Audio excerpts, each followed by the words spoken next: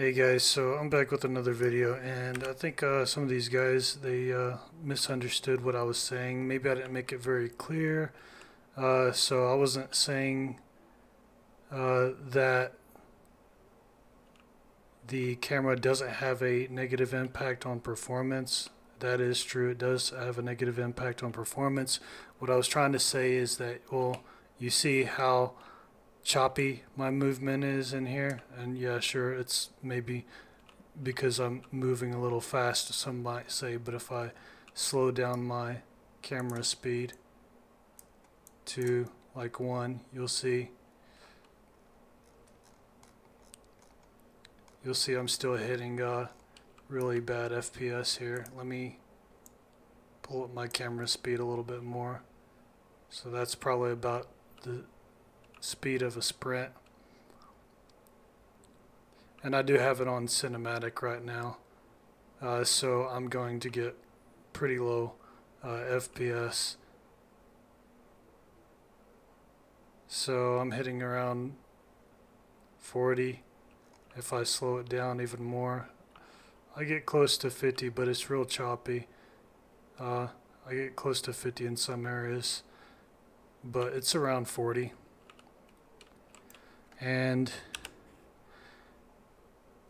with the camera selected I'll get about half well with the player selected I'll get about half of that. But if I load this in the selected viewport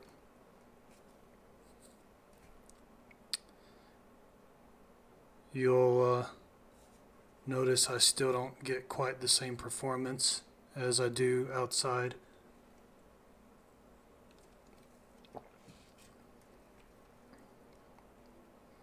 And this takes a second because it's a large map and it's going to load everything again.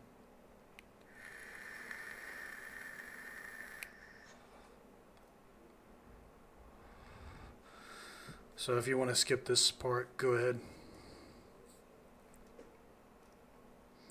I think it's just about done. There we go.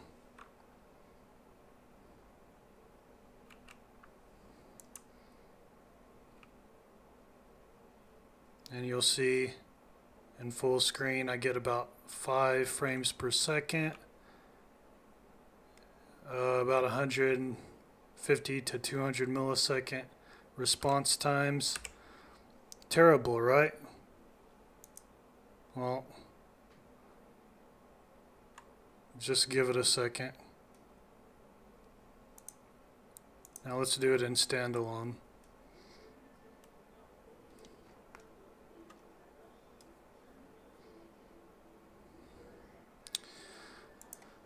Unfortunately, these load times are a bit long, so like I said, you know, if you want to skip forward, I'll put markers for you to do uh, just that.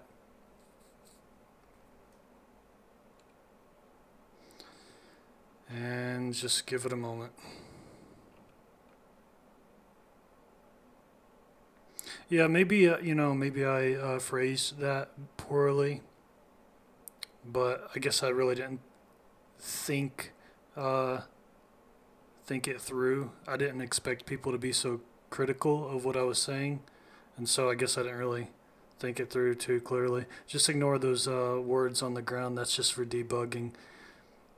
It helps me identify what kind of types of uh, materials I have where.